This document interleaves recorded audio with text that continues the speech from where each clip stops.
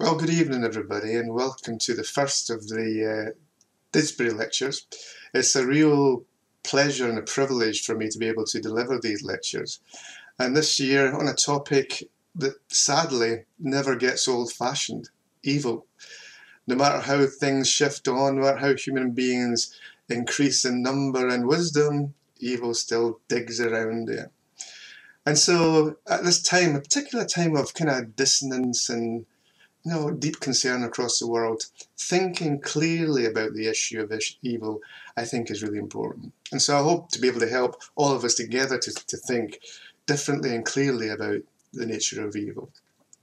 But welcome also to my office. So behind me here is my recording studio. So like I'm a aging wannabe rock star and I will be, so just watch this space. Like, so back there is where I do my creative and imaginative stuff in terms of music and write lyrics and do all sorts of interesting things. And then down here uh, is where I do more formal theology, where I think about things, where I write and where I work and have conversations with people like your good selves. Uh, and so for me as a practical theologian, it's a good balance because I use one part of my brain back there I use another part of my brain down here. But actually, when I'm thinking about theology, I'm using both. Theology, has a rhythm, it has a music, it has a, a sense of poetics. I just like this space. I'm sorry if I sound too enthusiastic because I spend too much time in here. Um, anyway, just so you know the context, this background won't change very much as we go on. My shirt might, I'm sure you can get used to it. We've all zoomed enough to be able to work out uh, the complexities of uh, looking at things that are slightly off, but always interesting. All right, let's begin. So the presence of evil amongst us is a most perplexing phenomenon for both church and society. Why, if creation is deemed good, as in Genesis 1, is there so much evil and so much suffering. How are we to deal with that apparent contradiction?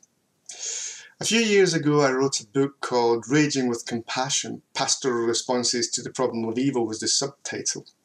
In it, I argued against philosophical theodicy, you know, that attempt by people and philosophers and sometimes by theologians to explain the reasons why we have evil and suffering. And I argued that actually it's unexplainable. And sometimes when we try to explain it, things get even more confusing. You know, sometimes we turn, for example, to the book of Job. Now, if we think about Job as an explanation of evil, we, the book begins by saying that evil comes or suffering comes to Job because of God's gambling habits. That's not particularly helpful. If you have cancer and somebody says to you, well, it's a problem with your sin or the sin of somebody in your history. You just heap theological coals upon an already suffering person. If you lose a child and your pastor says to you, Oh, it's actually all right, your child is in the arms of Jesus and everything works for good uh, for those who love the Lord, that's not going to placate you, it's not going to help you. It's simply going to make you feel sad and unable to cope with the fact that actually there's a lack of goodness in the world and that everything may not simply work for good in that way. So it's complicated when we try to explain uh, the nature of evil. So I argued that we shouldn't try to do that. We should try to respond to the nature of evil or respond to the presence of evil through the practices that we engage in as Christians and as a church. So I argued that um, the problem of evil needs to be thought about as a problem of practice. So biblically, the, uh, the problem of evil is first and foremost a practical problem or a practical issue. It's things we resist, things we do, things God does to resist. So a major emphasis in Raging with Compassion was that the problem of evil was not simply the problem of suffering, important as that is, but the way in which evil interferes with and sometimes prevents human beings from loving God. Now, the problem of evil is often framed uh, as a problem of suffering. When this happens, suffering and evil become presumed to be the same thing. However, this way of thinking about suffering is relatively new and culturally bound. Historically, at different times across different cultures, suffering has simply been accepted as part of the way that the world is. People may complain about suffering, something that is prevalent in the Psalms of Lament and the Book of Job, and the Book of Lamentations, obviously. However, suffering was not inevitably considered to be an evil, but necessarily challenged people's faith and trust in God. So the psalmist complains about suffering, but his complaint is always aimed towards God. The, in, in wealthy Western and highly medicalized cultures, suffering is assumed not to be the norm. It is considered a form of evil that directly challenges the reality and goodness of God. When this happens, the problem of evil and the problem of suffering become the same thing. So in my book, the earlier book, I tried to tease out some of the issues by exploring the idea that not all suffering is in fact evil. If I have toothache, it's painful and it causes me suffering, but it doesn't represent an existential threat or provide a, a, reason for me not believing in the goodness of God, although maybe it sometimes feels like anybody who's had a, a, a tooth infection knows what that feels like. But I argue that suffering becomes evil when it impacts upon our ability to love God and the experiences uh, and experience God's love. So human suffering, pain, and difficult circumstances are therefore not inherently evil. Rather, they can become evil when they function to block us from God's love. The task of the church, I said, is to utilize its God given and spirit filled practices in order to enable people to hold on to the love of God even in the midst of suffering. So, sitting at the heart of that book was the practice of contemplation, learning how to love God simply for God's sake, even in the midst of the wildest storms. This is the conclusion that Job came to after his trials and tribulations. And this is the dynamic that I tried to capture in that book in relation to how we should respond to evil. So, the task of the church is to help facilitate and sustain love by engaging in actions which mirror, participate in, attest, and are a vehicle for God's redemptive movement within history. And that movement, of course, is focused on the death and the resurrection of Jesus, which we'll come back to again and again here. So the Christian practices highlighted were lament, forgiveness, thoughtfulness, hospitality, and friendship. Each in different ways functions as a practice of resistance that enables us to move closer to God even in the midst of evil and suffering. That's all good and well. And I still stand by the arguments in that book. However, having listened to those who have affirmed and critiqued it, I recognise that there is more to be said. One recent uh, critique that I found particularly helpful was by my friend and colleague uh, Ben Fulford. Ben's a systematic theologian at, uh, in Chester, and in a recent online paper titled Practices of Compassion and Resistance, he makes a very important observation and critique of my work in Raging with Compassion. He generally agrees with the emphasis on developing practices of resistance that manifest the love and compassion of God uh, in important ways, uh, important ways of resisting evil. However, he suggests that there is more to the story of evil and resisting evil than can be found in simply focusing on evil's ability to interfere with our experiences of the love of God. Fulford puts the issue this way, and let me just quote him. Swinton's vision is a bit too ecclesiocentric or overly church focused in its diagnosis of evil and its practical theodicy of addressing it.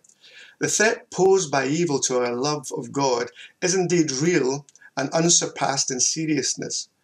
But evil threatens other dimensions of our creaturely existence as well, with other relations uh, integral to the love of God and goods internal to them. Uh, a bit more of doctrine of creation would help here. And of course, Christian practices do not automatically shape good character, nor are they often innocent of deformation. And I think that really helpful.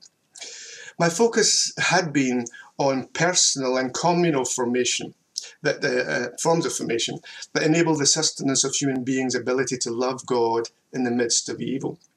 But of course, there are wider dimensions to evil that include that, that, that include, but are certainly not fully defined by the perspective I developed. Fulford is right that evil threatens other aspects of our creaturely existence, which are integral to the love of God. He is also correct that a focus on the doctrine of creation opens up space for a wider exploration of evil and perhaps a broader set of practices of resistance. And of course, and this is really important, we'll see this as we move on, Christian practices have the potential to shape and form people for good, but they can become deformed or they can make no difference to somebody's life. So we need to think that through as we go on. We may have practices that help us to resist, but we have to engage with them in ways that are filled with integrity and possibility. As Eric Stoddart has put it, every practice within and beyond the ministries of care, Christian caring organised by the church can be explored theologically. So there's political dimensions to that theology, sociological dimensions, uh, and ecclesiological dimensions. These are not separate, but my emphasis clearly had been on the ecclesial and not necessarily enough on these other dimensions. So the church and its theology has a responsibility, as Fulford implies, to shape people and society more widely. Uh, this suggestion, which I think is a good one, frames the argument which follows. So I'm, I'm, I'm not answering that, but I'm using that concept to frame what it is I want to say. So as I was thinking of through uh, Fulford's comments, something else happened that pulled me up short. I was praying the Lord's Prayer when I noticed something that I hadn't thought about before. Our Father in heaven, hallowed be your name. Your kingdom come, your will be done on earth as it is in heaven. Give us this day our daily bread, and forgive us our debts as we have also so have forgiven our debtors. And lead us not into temptation, but deliver us from evil. It was that last line that jumped out at me. And lead us not into temptation, but deliver us from evil. What does that actually mean? Temptation is central to being drawn into sin and evil.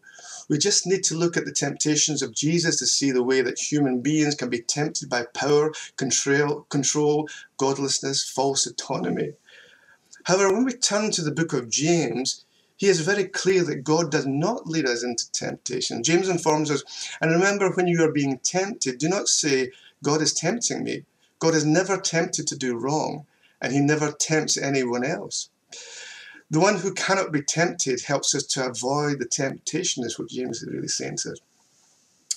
So, avoiding temptation then is something that humans do when we turn to God and do not yield to our creaturely desires.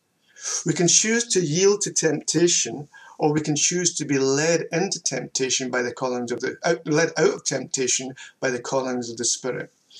Yielding or not yielding is something that we do with our bodies, with our hearts, and with our minds. So, as we engage in the spiritual practices of prayer, Bible reading, contemplation, worship, and so forth, we are shaped and formed in ways that help us not to yield to temptation. In the case of temptation, we have at least some degree of choice over it. However, Jesus follows that up immediately by emphasizing that we need to be delivered from evil. We can be led into and out of temptation, but we need to be delivered from evil. Deliverance indicates that there is something about evil that is not only to do with weak human will and decision making. Leading us out of temptation and delivering us from evil are clearly connected, but they seem to not to be precisely the same thing. Now, in my previous work, I tended to focus on using Christian practices to avoid temptation and to be led out of temptation. However, the issue of deliverance, that which only God can do, had perhaps not effectively been related upon. Within these, with these thoughts and minds, I, I turn to Paul's reflections in the letter of Ephesians, Ephesians 6.10, where he talks about being strong in the Lord, putting on the armour of faith, putting on the spiritual, uh, taking the spiritual gifts and using them to protect yourself. And it's, you know, it's very clear, Paul says, we're equipped to put on the armour of faith as we engage in spiritual practices and walk with Jesus through the spirit filled life of discipleship. In so doing, we at least have the possibility of avoiding temptation. So when we put on the armour of faith, when we do all these things, we have at least the possibility of avoiding temptation because we see the world differently, when we see the, the temptations of the world uh, clearly. However, there's only so much that human beings can do as human beings to resist evil. There are powers beyond us over which we have no control. These powers transcend mere temptation. They're the source of the temptations that we are told to resist. These powers are not irresistible, but they're wily and very tempting. God has control over them. Crucially, the powers have been defeated in and through the cross of Jesus. There's an ongoing battle, but it has been won. That, of course, doesn't necessarily make our lives easier for the moment, but it does remind us that resistance requires the ongoing intervention of God to do the things that only God can do, to deliver us. So, in order to be not to be sucked into the dark vortex of evil, we need to be alert, informed, prayerful, and always aware of the need to be attentive to the urgings of the Spirit. Ultimately, only God can deliver us from that power which is evil.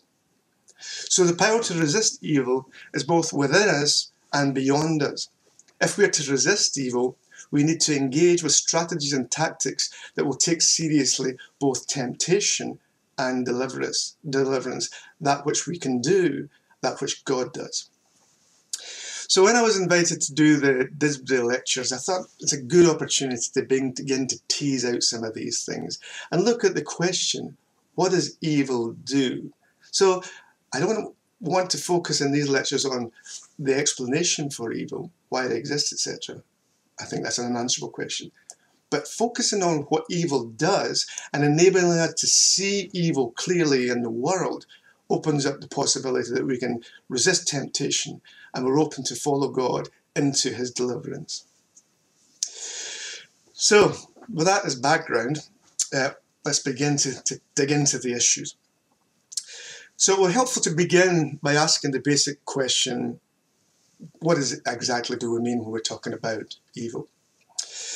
In developing a provisional perspective on evil, it will be helpful to take Fulford's advice and begin with the doctrine of creation, or more specifically, the doctrine of creation out of nothing. The systematic theologian Ian McFarland points out that there are two dimensions of the creation story that relate directly to our understanding of evil. God created the world out of nothing, and he said it was good. The fact that the world was created out of nothing rather than something is crucial Creation from nothing means that God is the sole condition of the world's existence in every aspect and at every moment. So there's no room here for a Manichaean form of dualism which sees evil as a negative force or power that's equal to God. There's only one creative force, and it is wholly good God. Evil is certainly a reality, but it's a negative reality that emerges after God proclaims creation as, as good. It's therefore not a product of God's good creative intentions. Evil is by definition that which God does not desire. So McFarland names evil as that which is against God's will. It's a negative force that pushes into and against the goodness of creation. It's not, however, an independent force. Evil comes from within creation for whatever mysterious reason. It's not independent. It's a distortion of God's goodness. Evil is something that comes from within creation.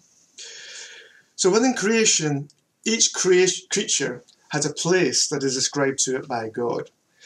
The goodness of God is manifested in God's desire for God's creatures to flourish, that is, to achieve ways of living within creation that are in line with their God given nature. Put slightly differently, God desires God's creatures to flourish according to their nature. Evil is that which threatens or inhibits creatures flourishing as the beings God intended them to be. If the, meaning, if the meaning of human flourishing is to love God, self, and neighbour, as Jesus suggests, evil is all that stands against such love. Evil seeks to distract and destroy the true source of human flourishing. It tempts people to look at and to the world in ways that avoid and distort God and avoid and distort relationships between human beings. Evil lurks within such things as false perceptions, stereotypes, cultural blindness, dehumanizing misidentifications such as racism, sexism, disableism, xenophobia. The presence and acknowledgements of the love of God and the presence of human flourishing are two indicators that evil is being resisted. When these things are absent, we know that evil is either with us or evil is on its way. Now we may ask, why does evil exist? And I've already suggested that uh, there, isn't an answer to that question. So, creation out of nothing emphasizes that evil is not God's intention, because God is good. It is certainly the case that God seems to permit evil, something that is both mysterious and deeply uh, frustrating. As to why evil exists, we're, we're left with a mystery. Matthew's parable of the weeds does, however, give us a clue, if not an answer. So in Matthew 13, we find this passage. Jesus told them another parable. The kingdom of heaven is like a man who sowed good seed in his field. But while everyone was sleeping, his enemy came and sowed weeds among the wheat and went away. When the wheat sprouted and formed heads, then the weeds also appeared. The owner's servant came to him and said, Sir, don't you, didn't you sow good seed in your field? Where then did the weed come from? The answer was this An enemy did this, he replied. An enemy did this. I find that really chilling. It reminds me of the point in a Stephen King novel when you suddenly begin to realize that what you thought was going on is quite different from what is actually going on. There's a malignant presence that you hadn't accounted for, and it's already here. Precisely who or what the enemy is is not stated. What is clear, however, is that there seems to be a force at work within creation that is out of kilter with God's good plan and which seeks to sow the seeds of human destruction. That force is active in the midst of the world. It is, however, a beaten force. The parable continues. The servants asked him, Do you want to go and pull them up?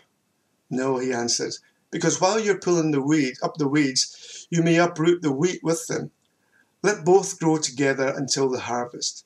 At that time, I will tell the harvesters, first collect the weeds and tie them in bundles to be burned, then gather the wheat and bring it to my barn. So the idea that evil is interspersed with good seed is empirically obvious, we can see it everywhere, but nonetheless important.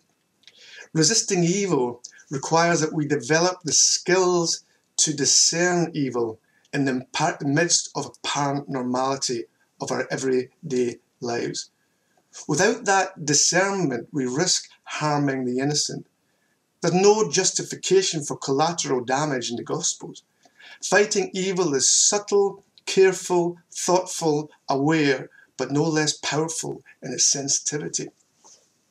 Wherever there is good, there is probably also evil. Working out which is which can be difficult, but one of the things that we want to do in these four lectures is begin to think about how we work out which is which, how we work out good from evil, and sometimes we think that good things are evil things. How do we do that? What's that process of discernment, discernment that lets us see the world?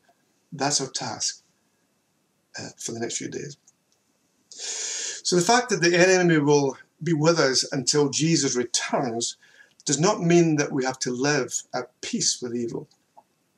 Knowledge of Jesus' victory is not a manifesto for complacency. We don't just let child abuse go uh, undetected and unpunished in the hope that all will be well in the end. To do such a thing would itself be a mode of evil.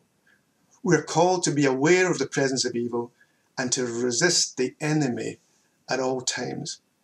Ignoring evil is a way of committing evil.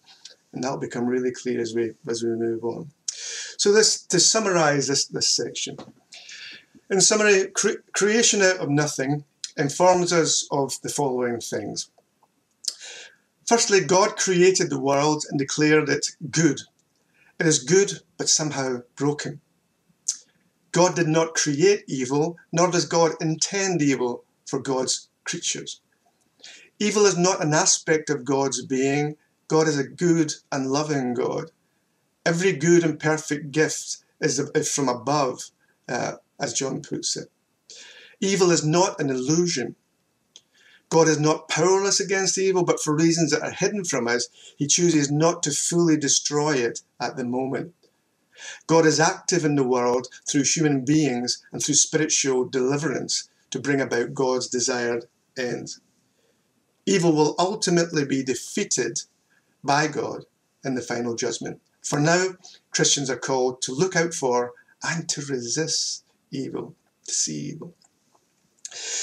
So, having laid down that uh, foundational perspective on evil, I want to kind of thicken that account now by turning to um, New Testament scholar Susan Eastman and her exegesis of Romans, uh, first seven books of Romans, and how Paul talks about evil and how Paul talks about sin. So, evil and sin in Paul. One of the big problems for the world just now is the issue of truth. We live in a world where fake news and lie telling have become normalized within the political arena. A world where the internet has provided us with a lot of information but not necessarily any knowledge or wisdom. In a world where powerful people try to persuade us that we're living in a post truth age, working out what is and what is not true can be challenging to say the least. And of course, that kind of communicational moral dissonance is a breeding place for evil. So, in her essay, The Empire of Illusion Sin, Evil, and Good, Good News in Romans, Susan Eastman points out that in Romans, Paul lays out clearly what the nature of evil and sin look like. For Paul, evil and sin are things that people do, and forces and forces that lie behind things and behind and beyond things that people do. So, evil and sin involves human actions within certain causal explanations, but uh, it also uh, stretches beyond human actions. So, for example, uh, in the Rwandan genocide, where we, which we will look at in lecture number three, clearly there were political forces, clearly there were human beings doing certain things, and clearly there was, there's a very material basis to it. But when we reflect theologically on that situation, it's clear there are dark forces that lie behind that. So there's a material dimension to evil and sin, but behind that, there's the forces uh, that are, exceed human weaknesses. So importantly, evil is both explainable, because you can see some of the reasons why things happen, and, uh, and unexplainable. It's also resistible, because we don't have to yield to temptation and irresistible because there are certain forces and powers that we just can't resist. And that's God's deliverance is, is necessary there. So, a concern for Eastman, as for others, is that the language of evil is losing its power within contemporary society. Other less powerful explanations of what traditionally has been called sin and evil have emerged from disciplines such as psychology, psychiatry, sociology. These explanations have provided us with a language that explains what might otherwise be described as evil. The problem is that such explanations locate the source of evil solely within the self. They deal effectively with one dimension of the problem, what people do, but in reducing evil to that dimension, they prevent us from seeing the wider spiritual dimensions.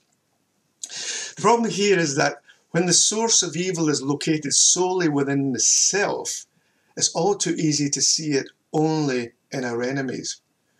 When we begin to see evil in those who oppose us and never in ourselves, all sorts of unpleasant things begin to happen, as we'll see as these lectures unfold. So part of Eastman's task is to challenge the idea that evil is located solely within the self and to offer a broader theological framework that helps us to see evil for what it is personal, communal, and suprapersonal, something that goes beyond the personal. So, evil is something that people does do, does do. Eastman points out that for Paul, the primary problem for human beings lies in their failure to acknowledge God, to name God as God, and to accept that God cannot be reduced to the self. This basic truth is fundamental for an accurate reading of the world. Failure to grasp this reality leads to serious cognitive and perceptual difficulties. If we cannot see the world clearly, we cannot live and act faithfully within it. We end up living in what Chris Hedges has called the empire of illusion. It's impossible to escape from the empire of illusion because, by definition, it's illusory. We can't see it. Eastman argues that unveiling this illusion and offering a way of properly seeing the world and everything within it is fundamental to Paul's understanding of sin and evil and how to resist it, as he lays it out in the early chapters of Romans. This is at least a significant part of what Paul means when in Romans 12:2 he tells us, Do not conform to the pattern of this world, but be transformed by the renewing of your mind. Then you'll be able to test and approve what God's will is, his good, pleasing, and perfect will. For Paul, sin and evil are interconnected, but they're not necessarily synonymous. In the first three chapters of Romans, Paul emphasizes that evil is something that human beings do. So humans are depicted as having been handed over to God, to an, uh, handed over by God to an unreasoning mind. An improper conduct precisely because they, they didn't see fit to acknowledge God. So their minds were distorted.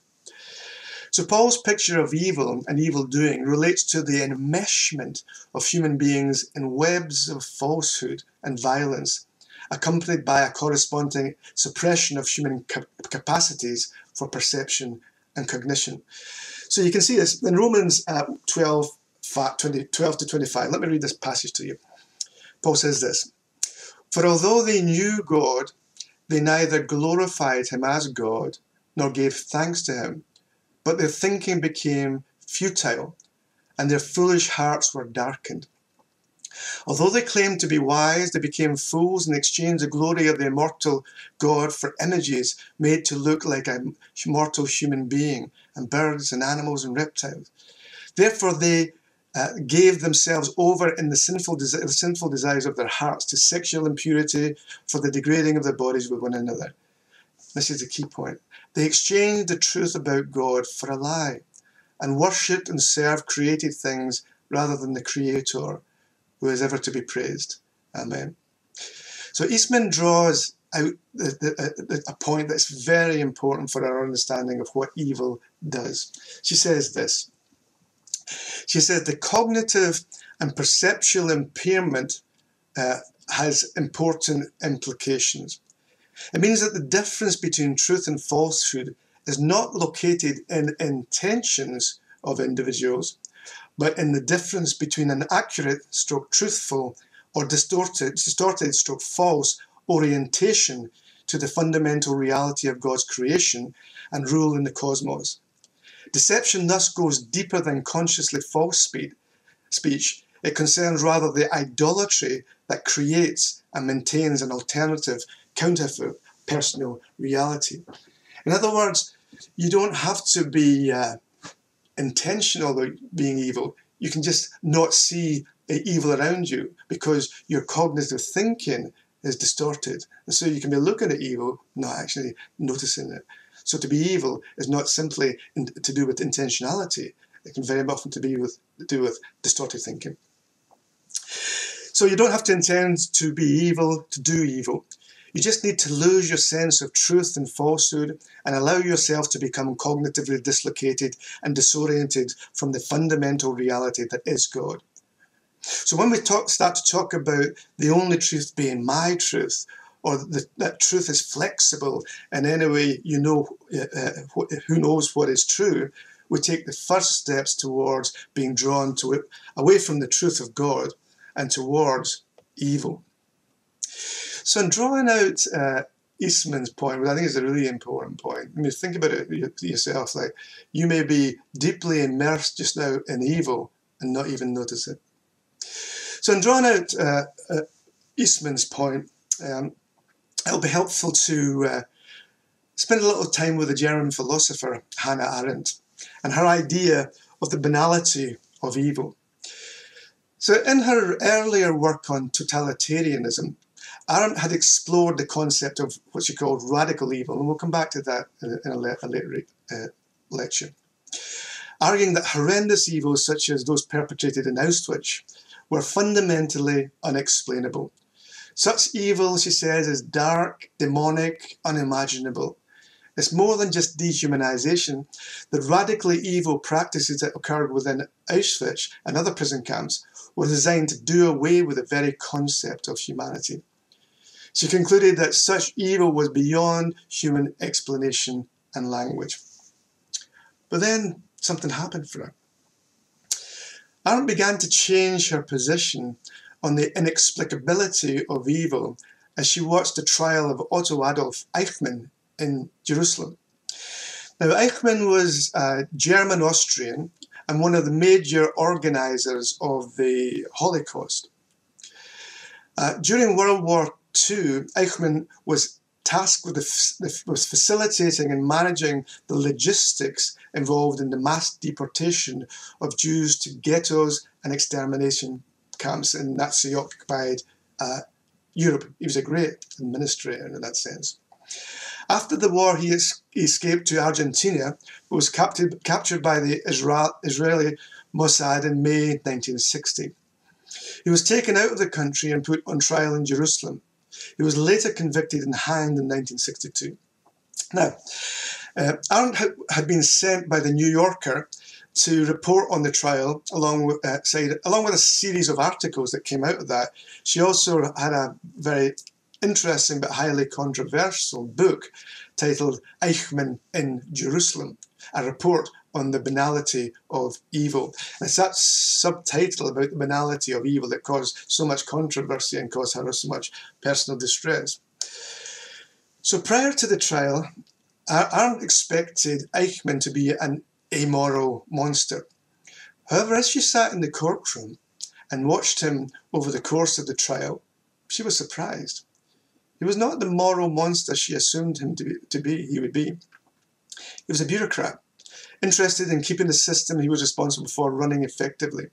A man, a clown, as she described him, who seemed only to be able to speak in cliches. Eichmann certainly facilitated deeds that were radically evil, and as she would argue later, completely unforgivable. However, he did so, she suggested, without evil intention. He was an organizer, meticulous in planning the times and places for trains to move and for people to be relocated. But at least, so Arendt thought, he wasn't particularly rabid about the Nazi cause. Of course, documents have come to the fore since then to suggest that's not the case. But the idea of the banality of evil remains significant. He was more interested in, in doing his job well and progressing up the, the career ladder. She, suggested that Eichmann's evil deeds were tied not to evil intent, but to thoughtlessness, an inability to think from the standpoint of other people. She didn't mean that he was stupid, he was simply lacking in judgment, lacking in discernment, lacking the particular cognitive ability uh, uh, that's necessary to uh, make good judgment. He committed crimes under circumstances that made it well nigh impossible for him to know or to feel that he was doing something wrong. Arendt described the, the kind of character that uh, she saw in Eichmann as, uh, as a banality of evil, like the everydayness of evil. Just the small things that, you, that he did just ended up with horrendous consequences. He was shallow, thoughtless, unempathetic, uh, and above all, lacking almost completely in judgment. This was not intended to belittle his crimes. Arendt's intentions were simply to point out that in this case, tremendous evil was explainable and tied to a failure to recognize that banal actions can have deeply evil consequences. So if we return to Eastman's analysis of Paul, Arendt's observation seems to be a non-religious way of getting at what Paul's pushing to, into in his description of evil in Romans. You don't have to intend to be evil to be complicit in evil. Eastman puts it this way. People consciously lie and people also unconsciously act out of the out the implications of living in a lie. This too for Paul is evil. Thus the common excuses such as I didn't mean to do it, or well, that's what I said, but I didn't mean it, or I didn't know what I was doing are simply irrelevant to questions of human culpability and divine judgment. Intentions are slippery, if not impossible, to pin down. That's quite a terrifying thought, that you can be implicit in evil, and sometimes radical evil, and not even know it. Eichmann's cognition and vision had become distorted as he thoughtlessly gave himself over to the demonically warped description of the world that emerged from engagement with Nazi ideology. His failure to acknowledge God, name God as God, and accept that God cannot be reduced to the self had disastrous consequences. So the tight connection between distorted cognition, false speech, and evil acts led to a situation where signing forms and shuffling pieces of paper resulted in the deaths of millions of people. The power of a signature is terrifying. So Arendt's idea of the banality of evil reminds us that evil can be explainable, sometimes in terms of simple, thoughtless actions. She reminds us that evil actions are not necessarily intentional, you can't accidentally commit genocide, but you can unintentionally contribute to its occurrence. And we'll see that very clearly in lecture number three when we talk specifically about the issue of genocide. So we might want to pause for a moment and consider what, for example, it means that the the designer trainer shoes or the cheap shirt that you're or the jacket you're wearing just now or the pajamas you're wearing just now, wherever you're. Um, that you might decide to purchase on the high street may be made by children who live in deep poverty and are paid next to nothing for producing them. And it may be that the things that you buy, the way you buy them, the reasons you buy them for, actually cause child poverty. A swipe of the credit card feeds the market within which the evil of child poverty flourishes. And that's before we even considered the background to our phones, where they're made, how they're made, what the conditions of the people that make it, and so on and so forth. The world and ultimately God will judge us by our actions, not by our intentions. So be careful what you do with your credit card. So the banality of evil names certain aspects of uh, evil, but not the whole. Evil is uh, at one level explainable in that way, but at another level it's completely unexplainable. Eastman notes a, an important shift in Romans. Following his description of evil in verses 1 to 3, evil drops out of Paul's writing until we get to chapter 7, where it returns. But this time it's tied in with sin and once again with deception. However, there's an important shift in the understanding of sin and evil. Evil is no longer simply something that people do. Now, in 7, 19 to 21, for example, evil is tied in with sin, and what sin does, counter to the wishes of the self. Sin now performs the action previously ascribed uh, solely to human beings. Evil has become extended and externalized. From there on in, sin is seen as an active force that is vigorously challenged, to be vigorously challenged and avoided. Sin is not only the opposite of loving service to God and others. Now it seems that it's a, seen a force that actively attempts to move people away from God. Sin is a power in that sense, it's a force. An enemy did this. So Romans ends with a striking statement about God's victory over sin. Um, Paul says this I would have uh, I would have you wise as to what good and guileless as to what is evil. And the God of peace will soon crush Satan under your feet. Wisdom enables us to yield to temptation. God delivers us from the power of evil. We will return to that dimension a little bit later. So the, the, the, point the, the point to always have in mind here is that there are forces from outside and forces from inside that end up causing the thing that we encounter and experience in the name of evil. Uh, so in conclusion, we have seen that there are two different narratives of the relationship of human beings with sin and evil uh, in Romans. In the first, human beings are culpable sinners in need of forgiveness and redemption. Uh, that we really need deliverance from the. Uh, well, uh, sorry, we need, let me do that again. In the first, human beings are culpable sinners in need of forgiveness and redemption.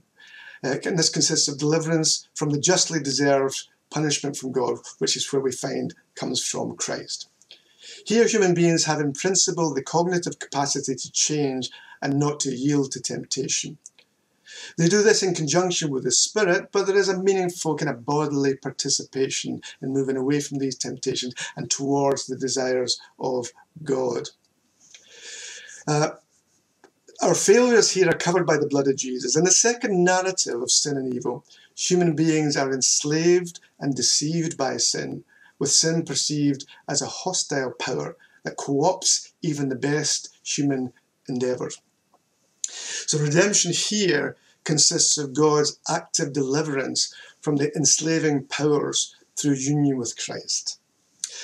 So to sum up the second part of the paper and to get us moving towards what we're going to do in the second uh, lecture, uh, three points. Evil is something that people do. It's a choice rather than an inevitability. However, it's possible to do evil without intending to choose to do evil. Good judgment and thoughtfulness are therefore primary tools of resistance to the banality of evil. Secondly, sin is a power that seeks to destroy human flourishing. Where sin is, evil will be there as well. Sin is a power that actively seeks to prevent humans from attaining their true heart's desire to love God and to love others. As such, sin and evil require spiritual understanding and intervention, as well as political, social, and psychological responses. Resisting evil, as we'll see, is embodied spiritual warfare. Thirdly, evil is not irresistible. The power evil has over human beings is to tempt them, to distract them from doing what is right. But it can be resisted by putting on the armour of faith, and ultimately it will be defeated through the blood of Jesus. What we have done today is to begin to discern what evil is, and importantly, what evil does deceives us. In our next lecture, we'll turn to the issue of how we uncover uh, evil and how we respond to that. And our focus in the lecture will be specifically on the evils that are emerging from the current pandemic. So in this lecture, we have kind of a theoretical framework that begins to help us to understand what evil is, what evil does. Tomorrow, we begin to say, well, what does that look like? And what does that look like in a time of pandemic. So I look forward to talking with you then.